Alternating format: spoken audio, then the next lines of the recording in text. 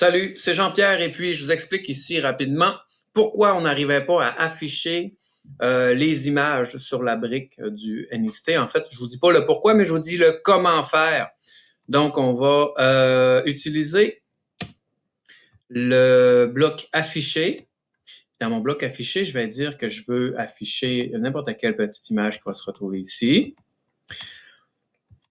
Et je vais devoir dire à mon programme aussi d'attendre.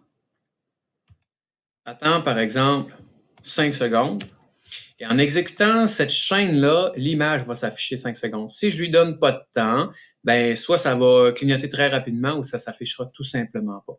Donc, en suivant ces consignes-là, on devrait être capable de faire l'affichage des images. On n'oublie pas ici de venir à droite, téléverser le programme, et ensuite on peut le faire.